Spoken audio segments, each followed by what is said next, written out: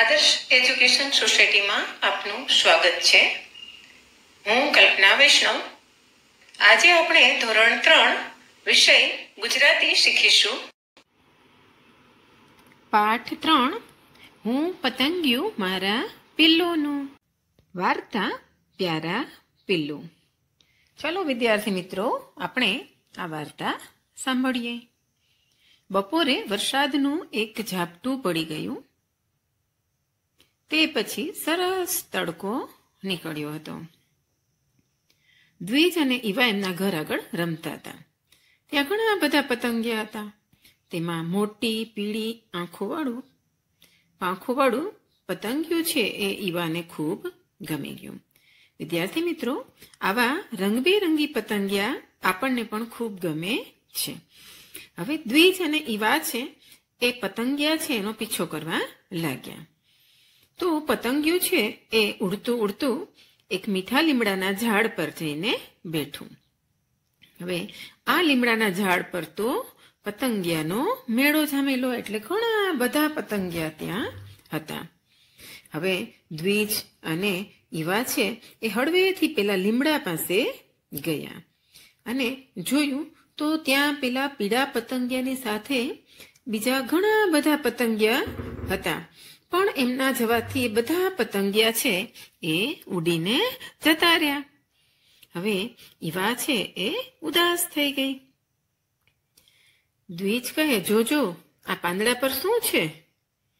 પાંદડા પર નાના નાના પીળા ટપકા જેવું કશુંક હતું. ઈવાએ ધ્યાનથી જોયું અને કહ્યું કે આ તો ઈંડા લાગે છે. હવે તેઓ જુઓ, વધારે જોવા માટે નજીક ગયા.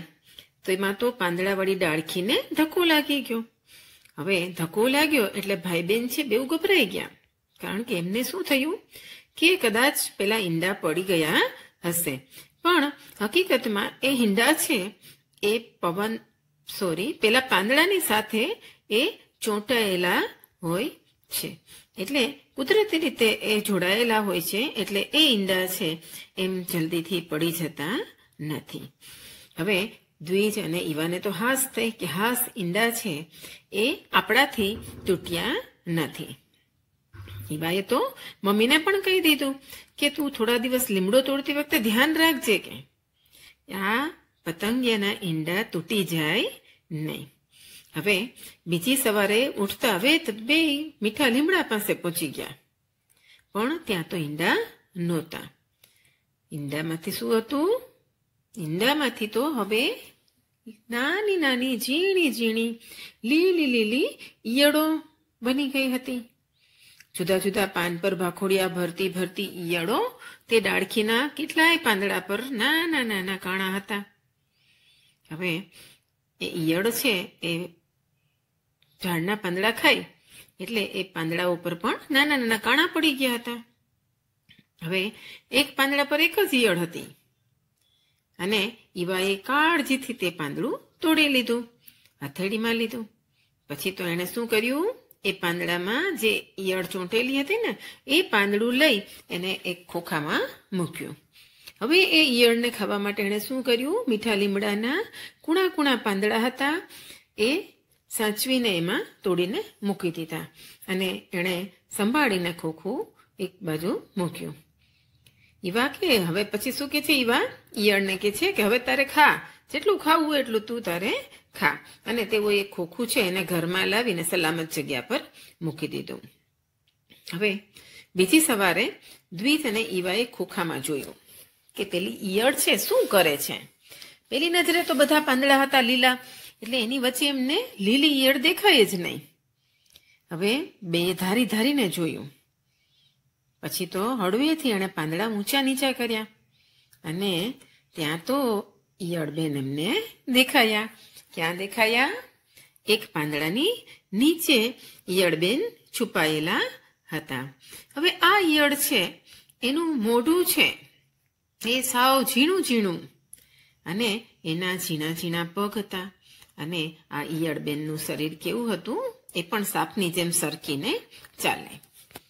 અને છતાં પણ એ કેટલા બધા પાંદડા ખાઈ ગયેલા? હવે દ્વિજ કે છે કે આપણે શું કરશું? આપણા દોસ્તનું નામ પાડીએ. એટલે ઈવા શું કે છે? હા હા, ચોક્કસ, ચાલો. શું નામ પાડશું કે આપણે એમનું? એટલે દ્વિજ કે છે કે આપણે એનું નામ શું પાડીએ? પિલ્લું. પ્યારા પિલ્લું. ઈવા કે સરસ નામ છે પિલ્લુ. રોજ સવારે દ્વિજ અને ઈવા શું કરે? ખોખામાંના પિલ્લુની ભાળ લે એની સંભાળ રાખે એને રોજ જુએ કે પિલ્લુ અંદર શું કરે છે. હવે તેઓ ખોખાને સાફ કરતા રોજ રોજ નવા પાંદડા ઉમેરતા. રાત પડે એટલે ફરી પાછા એકવાર તપાસ કરીને જ સૂતા કે એમાં આપણા પિલ્લુ છે એ શું કરે છે. અઠવાડિયા પછી દ્વિજે કંઈક જુદું જ જોયું. ખોખું એણે ખોલીને જોયું તો શું જોયું? એણે ઈવાને પૂછ્યું, દીદી, આ શું છે? હવે ઈયળની જગ્યા પર શું હતું? ઈવાએ પણ ધ્યાનથી જોયું અને શું કહ્યું કે, આ તો આપણું પિલ્લું જ છે, પણ હવે એણે નવા કપડાં પહેરી લીધા છે. તેને શું કહેવાય? કોશેટો કહેવાય. શું કહેવાય? કોશેટો. ઈયળ છે એ પોતાના શરીરમાંથી એવા રેસા કાઢે છે અને એમાં પોતાની જાતને એ વીંટાળી દે છે. અને પછી એ કોશેટાનું સ્વરૂપ ધારણ કરી લે છે. એટલે પછી એ કોશેટો છે એકદમ જાડો જાડો લાગવા માંડ્યો. એટલે શું કે છે કે હા, કેવું લાગે છે આપણો પહેલવાન થઈ ગયો છે પિલ્લું કે? દ્વિજ કે સાચી વાત છે ખાઈ ખાઈને તગડો થઈ ગયો છે કે? બંને ભાઈ બહેનને આ તગડો પિલ્લું બહુ વાલો થઈ પડ્યો, બહુ ગુમવા માંડ્યો. હવે સવાર સાંજ કે નિશાળે આવતા જતા બંને ભાઈ બહેન શું કરતા? પીલું શું કરે છે? એની સંભાળ રાખતા. શાળાએથી આવી અને એકવાર એમણે સાંજે ખોખામાં જોયું. જોયું તો ભાઈ તો શાંતિથી જ સૂતા હતા. હવે ઉશેટાનો રંગ ગાઢો થઈ ગયેલો અને તે ચૂપચાપ પડી રહેલો. પેલી ઈયળના સ્વરૂપમાં હતું તો એ ચાલતું હતું. પણ હવે એ કોશેટાના સ્વરૂપમાં આવી ગયો છે, એટલે હવે એમને એમ ચૂપચાપ પડી રહે છે. દ્વિજ સાચવીને એને અડ્યો. તો એણે કોશેટાને અડ્યું, તો કોશેટો એમને કેવો લાગ્યો? કઠણ, એકદમ કઠણ એમને કોશેટો લાગ્યો. એણે જોયું કે કોશેટો છે એ જરા જરા હલતો હતો. હવે કોશેટો છે એ વિદ્યાર્થી મિત્રો ઈયળ છે એ શું કરે છે? પોતે પોતાના શરીરને એમાં ઢાંકી લે છે. હવે કોશેટો છે એ પછી હલનચલન નથી કરતો અને એક જગ્યા પર જ એ એમ જ પડ્યો રહે છે. હવે દ્વિજને ચિંતા થઈ. એણે ઈવાને પૂછ્યું કે, દીદી, આ પીલુંને કંઈ થઈ તો નથી ગયું ને? તે સૂતો છે ને? કારણ કે કોશેટો છે એ હલનચલન કરતો નહોતો. એટલે દ્વિજને થોડી એની ચિંતા થઈ. ઈવા કે, ના, ઈવા શું કે છે? કે ના ના, તું ચિંતા ન કર. એ તો મોટો થઈ રહ્યો છે. બસ થોડા દિવસ રાહ જો પછી જોજે જાદુ કે. ના ના એને કંઈ નથી થયું. શું કે છે એવા કે એને કંઈ થયું નથી, પણ એ શું થાય છે? એ ધીમે ધીમે મોટો થાય છે. હવે તું થોડા દિવસ એની રાહ જો અને પછી જોજે એનું જાદુ કે. અને પછીના રવિવારે બપોરે એમણે પીલુની ખબર કાઢવા માટે ખોખું ખોલ્યું. હવે ખોખું ખોલ્યું, ત્યારે એમણે જોયું કે કોશેટો છે એ શું કરતો હતો? ધીમે ધીમે જરા જરા હલતો હતો. દ્વિજ ધ્યાનથી જોજે. એમ કઈ નીવાએ ખોખાને બગીચામાં લઈ આવી. થોડી વાર થયું તો એ કોશેટો છે એ શું થયું? કોશેટો તૂટ્યો. કોશેટો તૂટ્યો અને એમાંથી એક જીવડું બહાર આવ્યું. એ જીવડાને તો પાંખો હતી, પણ એની પાંખો કેવી હતી? ચોંટેલી હતી. હવે એ ધીમે ધીમે પોતાની પાંખને શું કરવા લાગ્યું? એ ખોલવા લાગ્યું. હવે એની પાંખો ખુલતું જોઈ દ્વિજ અને ઈવાના તો મોં ખુલ્લા રહી ગયા. એમને તો ખૂબ નવાઈ લાગી.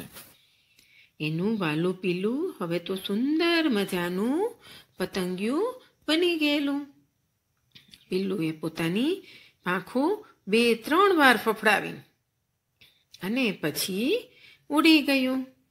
હવે દ્વિજ અને ઈવાએ પણ પિલ્લુને કહ્યું આવજે. હવે વિદ્યાર્થી મિત્રો આ રીતે ઈંડામાંથી એક પુખ્ત વયનું પતંગિયું છે એ બંને. એજ્યુકેશન સોસાયટી સાથે જોડાવા બદલ આપનો આભાર.